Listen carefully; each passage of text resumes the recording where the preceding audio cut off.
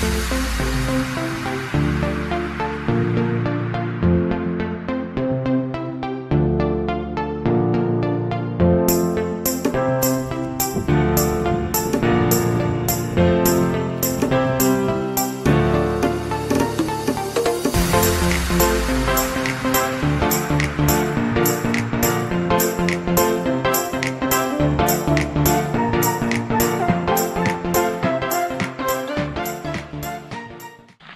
जय शिवराय मित्रांनो. आज पुन्हा एकदा आपण गडकिल्ल्यांच्या भेटीसाठी जातो आहे तर आज आपण जातो आहे सातारा जिल्ह्यातील दहिवडी या गावाजवळ असलेल्या वारुगड. हा मागे दिसतो आहे हा वारुगड या किल्ल्याला भेट द्यायला. इथे खाली वारुगड नावाचं गाव आहे. खाली एक मंदिर आहे. तिथे तुम्हाला पार्किंगची वगैरे सोय आहे. तिथं गाडी वगैरे पार्क करून इकडून आपल्याला वरती जाण्यासाठी पायऱ्या आहेत. तर आपण आता त्या पायऱ्यांच्या मार्गे आपण गडावरती जाऊ आणि भेट देऊ वारुगडला. चला. सातारा जिल्ह्यातील सातारा फलटण डोंगर रांगेतील म्हणजेच महादेव डोंगर रांगेतील वारुगड हा एक सोपा समजला जाणारा किल्ला. इथे पोहोचण्यासाठी जर पुण्याहून येत असाल तर एकशे सदतीस किलोमीटरचं अंतर आहे. पुणे शिरवळ लोणंद फलटण मार्गे इथे पोहोचता. जर साताऱ्यातून येत असाल तर जवळपास सदुसष्ट किलोमीटरचं अंतर आहे.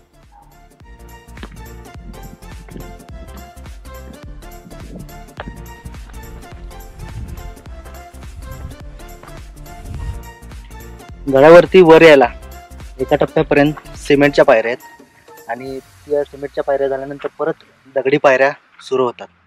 तर जरा वाट घसरणीची आहे. तर वरती येताना जरा सावधपणेच या.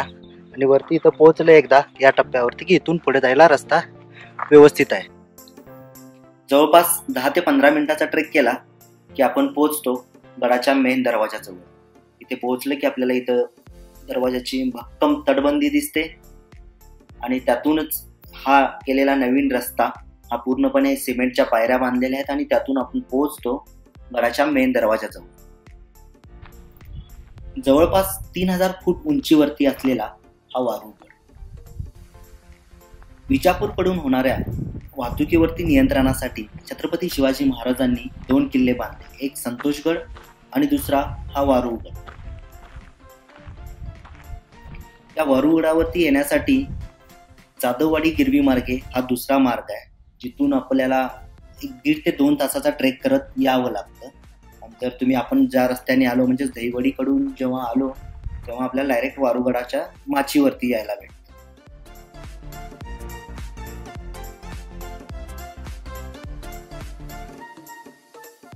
इथे जर वातावरण क्लिअर असेल तर असं म्हणतात की इथून आपल्याला पुरंदर वज्रगड सुद्धा दिसतो. तसेच एका बाजूला शिखर सिंगणापुरी दिसते. हा समोर दिसतो हा सीताबाईचा डोंगर परिसर. याच परिसरातून मानगंगा नदीचा उगम होतो. आणि हा संपूर्ण दिसणारा विस्तीर्ण फलटण बारामतीचा परिसर. आपण पोहोचलोय वारुगडाच्या बालेकिल्ल्यावरती. गडाच्या मेन दरवाजातून आत आलं की समोर हे एक वाड्याचं अवशेष दिसतं इथं आपल्याला जिथं की आत्ता आपण उभा आहे. आणि या बाजूला मागे एक मंदिर आहे. त्या मंदिराच्याच पुढच्या बाजूला गेलं तर तिथं दोन विहिरी आहेत. म्हणजे एक मोठी विहीर आहे आणि एक पाण्याचं टाका आहे. आणि त्या बाजूला गेलो आपण की तिकडे एक दोन बुरुज आहेत.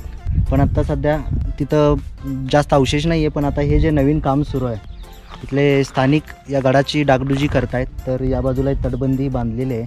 ती पूर्णपणे सिमेंटची तटबंदी आहे. आणि मागे दिसतं आपल्याला हे पारुगड गाव आहे. म्हणजे हा पूर्ण गड असा हा परिसर आहे. आणि हा आहे तो बालेकिल्ला. आणि जर तुम्ही खाली बघितलं त्या बाजूला तर तिथे एक मंदिर आहे आणि त्या मंदिराच्या पुढच्या आवारात आपल्याला पूर्ण गडाची तटबंदी दिसते. जितका काही परिसर आहे त्या संपूर्ण भागाला तटबंदी आहे अजून. आणि या बाजूला जर आलो आपण गडाच्या तर आपल्याला इथं हे बुरुजाचे अवशेष दिसतात. हे मागे दिसत आहेत हे बुरुज आहेत. एक चार ते पाच एक बुरुज आहेत. त्यांचे अवशेष अजूनही आहेत बरोबर. आणि इकडे बघायला गेला तर हे खाली जायचा रस्ता इकडूनही आहे आपल्याला. हे जे लोक जाताना दिसत आहेत आपल्याला मुलं. तर अशा रीतीने हा दिसणारा हा संपूर्ण वारुगडचा परिसर. वारुगडावरती एकूण दोन पाण्याचे टाके आहेत. आणि इथं दिलेल्या माहितीवरून असं समजतं की हे जे पाण्याचं टाका आहे गडाच्या पायथ्याला असलेलं हे पाण्याचं टाकं जे आहे हे पांडव जेव्हा वनवासात होते तेव्हा त्या पाच पांडवांनी एका वेळी एकाच दिवसात बांधलेलं हे पाण्याचं टाकं आहे. अशी आख्यायिका आहे. या बोर्डवरून लिहिलेल्या माहितीनुसार समजतं असं की हे जे पाण्याचं टाकं आहे हे पांडवांनी बांधलेलं पाण्याचं टाकं आहे. आणि जे वरती किल्ल्यावरती आहे ते शिवाजी महाराजांच्या काळात जेव्हा गड बांधला गेला त्यावेळी ते टाकं बांधलं होतं.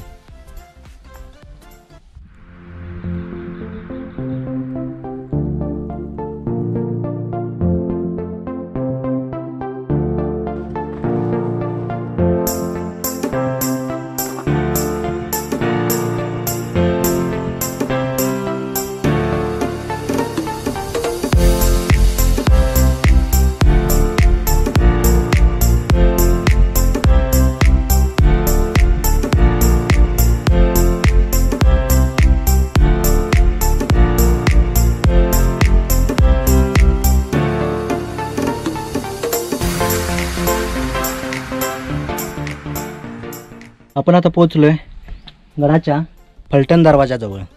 तर तुम्ही बघू शकता इथे दोन बुरुज आहेत मोठे आणि यापैकी एक बुरुज जरा ढासळलेल्या अवस्थेत आहे. पण हा बुरुज शुद्ध स्थितीत आहे आणि तसंच आत गेलं की आपल्याला दोन दरवाजे लागतात. तर त्या दोन दरवाजातून आपल्याला गडावरती प्रवेश मिळतो. तर अशा रीतीने असलेला हा फलटण दरवाजा. भरपूर काही अजूनही वास्तू अवशेष अजून शिल्लक आहेत. तसंच जसं मी मगाशी बोललो तसं गडाची आपल्याला या बाजूला पूर्ण तटबंदी आपल्याला अजूनही दिसते.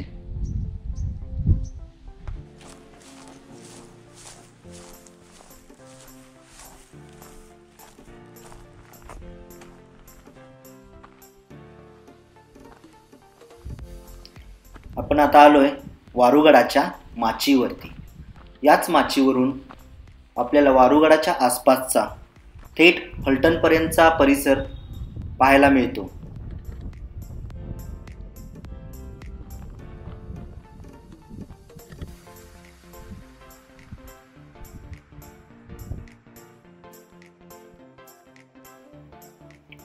वारुगड या गावात असलेलं हे भव्य असं भैरवनाथाचं मंदिर.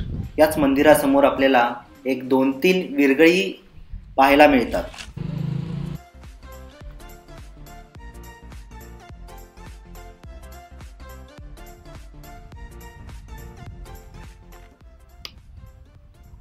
तसंच हे मंदिर मोठं असल्यामुळे इथे राहण्याचीही सोय होऊ शकते. जर कोणी स्टेला येत असाल तर चाळीस ते पन्नास लोकांची राहण्याची सोय इथे होऊ शकते.